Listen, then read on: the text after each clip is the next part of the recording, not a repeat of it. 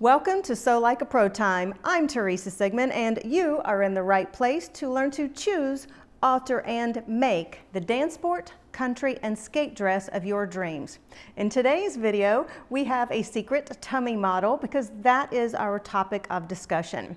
Tummies, the classic female tummies that we love to hate, tend to have varying shapes and sizes. They also vary from hour to hour. Usually in the mornings, our tummies are tend to be flatter than they are in the evenings.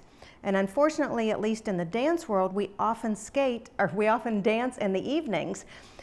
So, and you know, so like beginning people tend to dance and skate in the mornings, and then at the events as it goes on, then the more advanced people dance in the evenings. So that is also something that you need to take into consideration when you're performing.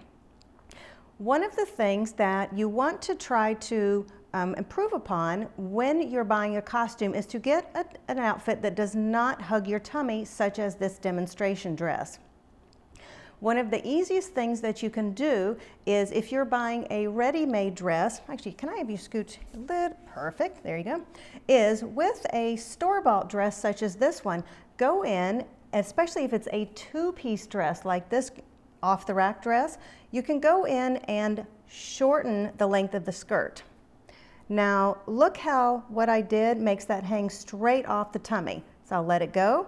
It's hugging the tummy making it look more round, which none of us want.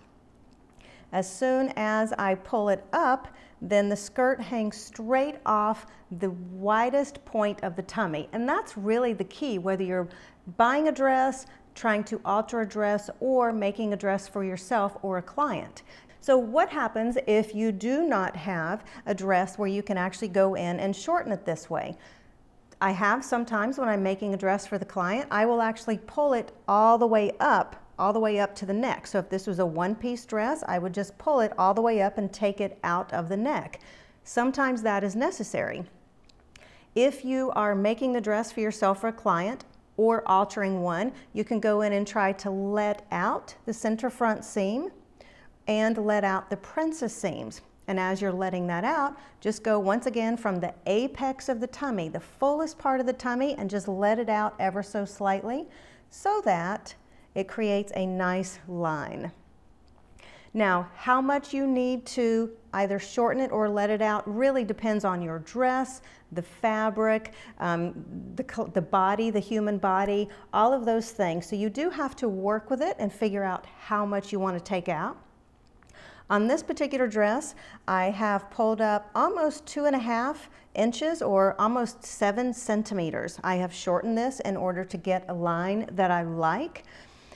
And, but once again, it varies widely. So that is it for our tummy episode. Go ahead, do your work some magic and make your tummy look flat no matter what time of day you're competing. And if you have enjoyed this video or found value in it, please tell all your dancing, skating, sewing friends. Go to sewlikeapro.com, leave me your name and email address so that I can make sure that you never miss one of these dancing skating tips, dancing sewing tips, and and please leave me a comment telling me what your aha moment, favorite aha moment is in this video. Clearly secret models have, have this effect on me. All right, thank you so much. I will see you again another time. Okay.